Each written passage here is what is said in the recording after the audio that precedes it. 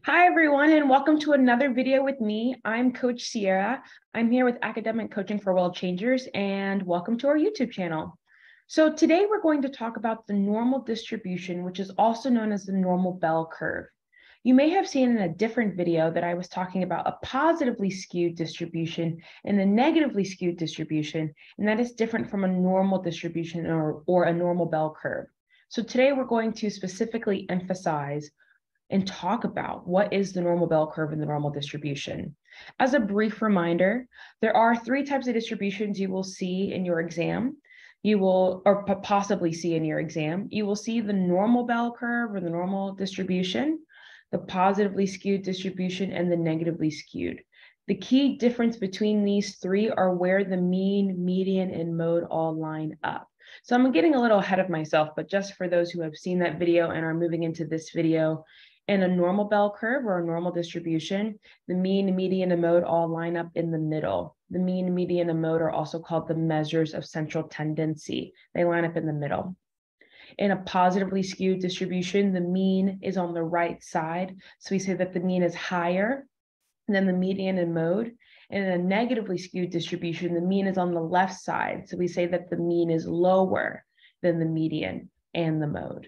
If you're not sure what the mean, median, and mode is, I'll add another quick review in there just because I really want you all to really get this material. Remember that the mean is the average, the median is the middle number, and the mode is the most frequently occurring number or the top of the curve. Okay, so why is the normal distribution also called the normal bell curve? What's happening? What's going on here? Well, the bell curve is the shape of it. As you see here on this image to the right, the bell curve is the shape. It's shaped like a bell curve, like a bell, like ding, ding, ding, ding, ding. It's Christmas time uh, where I'm at, I guess where everyone is. Um, I'm located outside of the States, but when you think of a bell, like ding, ding, ding, ding, ding, um, this is a bell. So the normal distribution is essentially a theory that says we like to gravitate towards the mean. You may have heard of the phrase regression towards the mean. We like to be average. We as a people, as a society, like to navigate towards the middle, towards the average, the mean. Okay, in a normal bell curve, the mean, the median, and mode all line up. So if I'm saying towards the middle, towards the average, I'm saying the same thing because the mean, the median, and mode all line up in the middle for a normal bell curve or a normal distribution. So the normal distribution is essentially a theory, and this theory demonstrates itself in a graph or an image of the normal bell curve. And I've seen test questions use these interchangeably, so I just want you all to be prepared for both. So going off the study guide that we have here, I've made the study guide. You'll receive access to the study guide if you book a session with us, Academic Coaching for World Changers. I give these out through my individual sessions that we have. And I think this this particular document is really useful because it has some extra images and gives um, a little bit of extra wording that makes the research and assessment section come alive. We've heard before that sometimes a section is really hard to understand because it's like learning a whole new language. Um, and that is true at times, but it's totally understandable. So let's talk about it. So the normal distribution is a tool, also known as a graph or an image, that allows us to compare scores of individuals. If you see a question that asks you the purpose of the normal bell curve and the normal distribution, it's so that we compare, so we can compare test results of individuals. How do we compare them? Well, we compare those scores using standard scores and standard deviations. We'll go into that in a moment. The normal distribution or the normal bell curve is represented by a bell-shaped curve. Ding, ding, ding, ding, ding. And it's symmetric. Symmetric means it's equal on both sides. So if we were to cut that curve in half, it would be 50% on one side and 50% on the other. The whole bell curve itself equals 100%. This is really important to know because as you're learning the 68, 95, 99 rule, you'll understand, oh, if the whole curve equals 100%, as we move out, this is where those percentages are coming from. So if I were to split that curve in the middle, it would be 50-50 on both sides. It has a peak in the middle that narrows towards the edge. We know that peak is in the middle because we know that the mean, median, and mode of a bell curve are in the middle. The mode always drives where the peak of the curve is because it's the most frequently occurring number. The curve is symmetric because of the peak, also known as the mode, and divides the distribution in half. So if they ask why is the bell curve symmetrical, it's because the mean, median, and mode, also known as the measures of central tendency, all line up there in the middle. Okay, so we mentioned earlier standard scores. This is possible. It's possible to compare scores because of standard scores and standard deviations. So let's talk about what standard scores are. Standard scores are z-scores and t-scores. That's a possible test question. What are standard scores? Z-scores and t-scores. Standard scores are scores that have the same unit of measurement. So what we mean by that is standard scores come from another set of scores called raw scores. Raw scores are scores that do not have the same unit of measurement or are not comparable. Okay. So these scores are derived from raw scores. Standard scores are also considered transform scores because they have been transformed from their raw score state. The reason why I'm using this other language is because you could see a test question that says, what is another name for standard scores? And you need to know the process of standard scores. Standard scores come from raw scores. I use the example a lot in my individual classes of, you know, when you go to work on Monday and you get to see yourself all done in the mirror and you look at yourself and you're like, ah, I did not wake up this way. The original way that you woke up is called a raw score, like the original form of you. But then you transform yourself into a standard score. On the bell curve, we only see standard scores. We don't see raw scores. Raw scores are just the thing before standard scores. So I use this analogy because no one ever sees your crusty eyes and maybe some snot here, maybe some drool here when you first wake up. No one sees the raw scores. We only see the standardized sense of self that you have at work. So if you're looking as to where to identify the raw score, you will not see the raw score on the bell curve. You just need to know that before there were standard scores, there were raw scores because there could be a question asking you which one of these is uh, which one of these terms is most similar to standard scores. So you might see derive scores. Derive means come from. These standard scores do derive from raw scores. Or you might see transform scores. These scores are transformed because they were once raw scores and transformed into standard scores. Okay. This is also in other resources. I'm just also providing extra explanation here as well. Once they have been transformed, we express the score's distance from the mean using a standard deviation. So raw scores don't have standard deviations at all.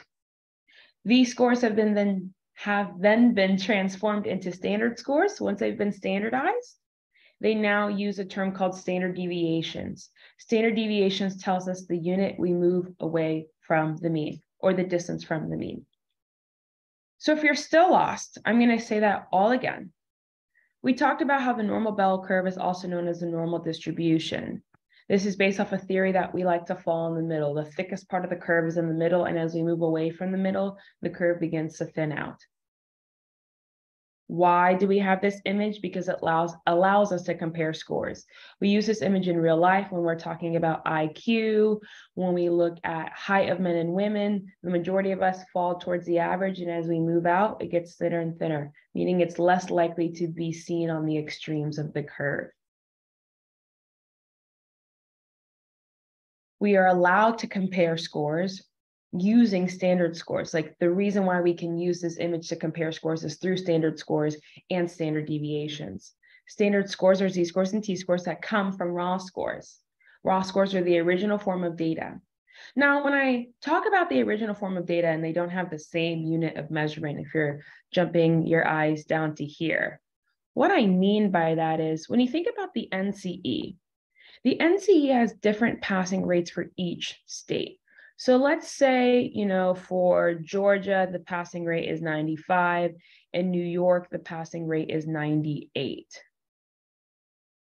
So if I'm a researcher and I'm serving on the board for the NCE, and I see that someone has made a 96, what do I do with that number? Because in one state, you pass, but in another state, you fail.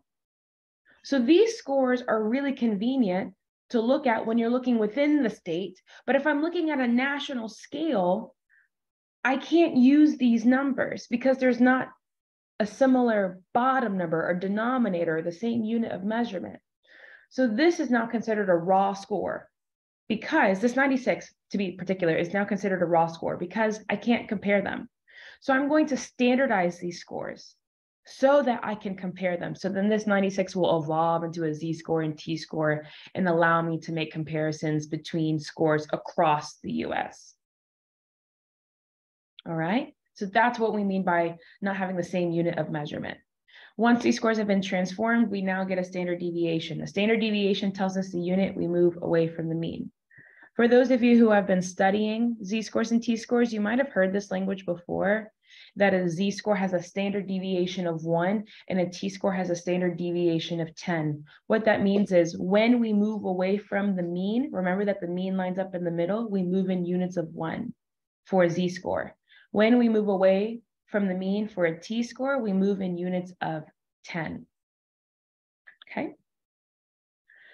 Now, standard deviations line up with the 68, 95, 99 rule. These two things go together.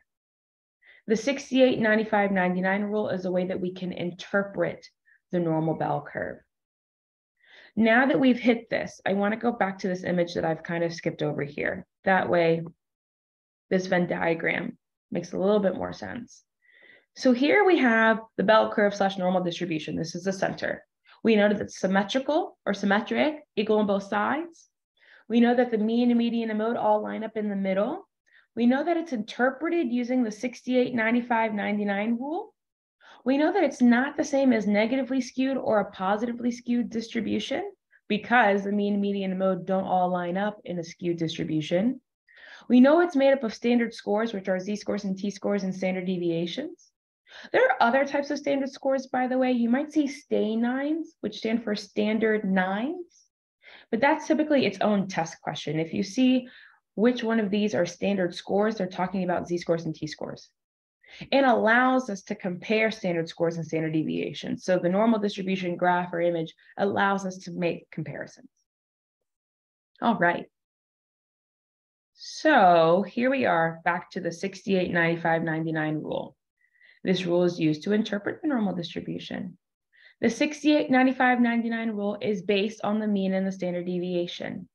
It says that 68% of the population is within one standard deviation of the mean, 95% of the population is within two standard deviations of the mean, and 99% of the population is within three standard deviations of the mean. 68, 95, 99, with that mean being in the middle. I'm pausing for a moment because I think some of you might be like, what is she talking about? So let's keep going. All right, here's another word. This is an image that I drew. We'll explain it in just a moment. So most observations fall within one deviation of the mean, 68%. That is the thickest section. If the whole bell curve equals 100% and 68% of us fall within one deviation, that's saying that we like to be in the middle. We like to regress towards mean. We like to be average. If you want to move away from average, you got to work really, really, really hard for it because there's like this gravitational pull to be towards the middle. Even fewer observations when we move out or towards 95, like the curve starts to get thinner, and even fewer for 99. Now, this is an image that I drew. If you are looking for a, the, the I guess you want to say the typical image of a normal bell curve. Let me show you here. One moment. So this is the image that you might see in the Helwig book or in other resources that are displaying the normal bell curve. The image that I drew is just cutting off uh, right after the t-score. So here we see a mean of zero and a standard deviation of one showing that the unit we move away from the mean is one. For a t-score, we have a mean of 50, that's our starting point, and a standard deviation of 10. When we move away from the mean, we move in units of 10.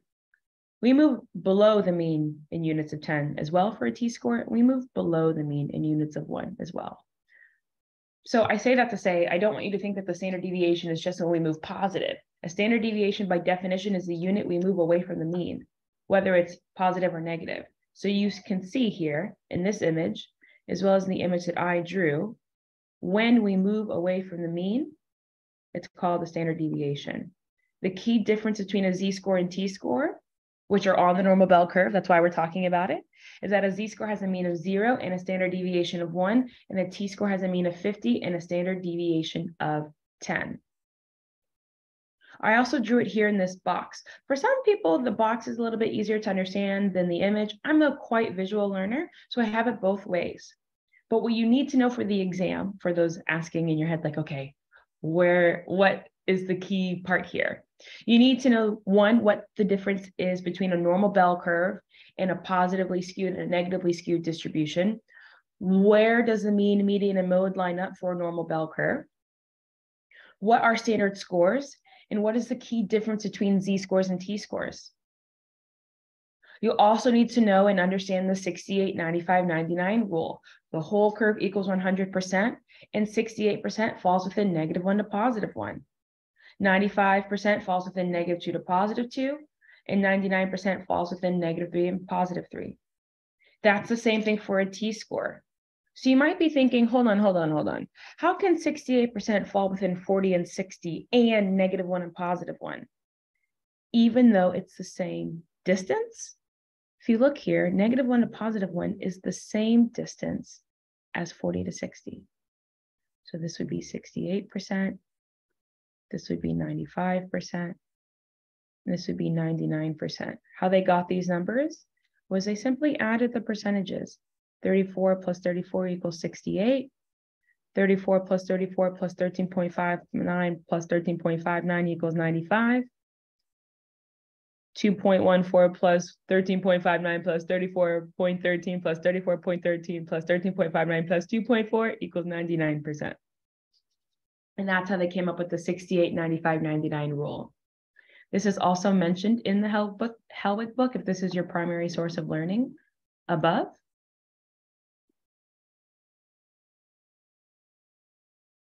Counselors should be familiar with the distribution of scores within the normal bell curve, 68, 95, 99. But I also drew it out here for us in this image that's being shown in this video. If you also book an individual session with me, you can also receive access to the study guide, the 68, 95, 99 rule.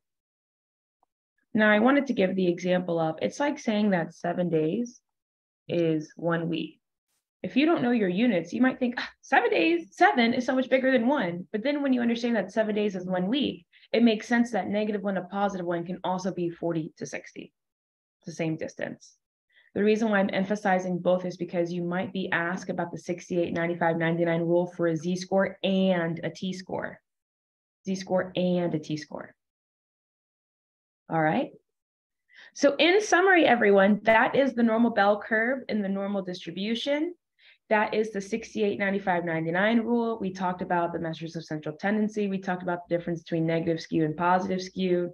We talked about other resources where you can find more information. And I want to thank you all so much for coming to this video. Have a lovely day. Of course, you can always email drpam2020 at gmail.com. If you're interested in joining our services, we have bundles, we have packages. We also have a website as well.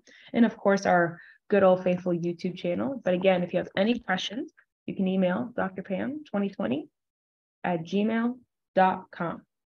Have a great day, everyone. Great to see you all.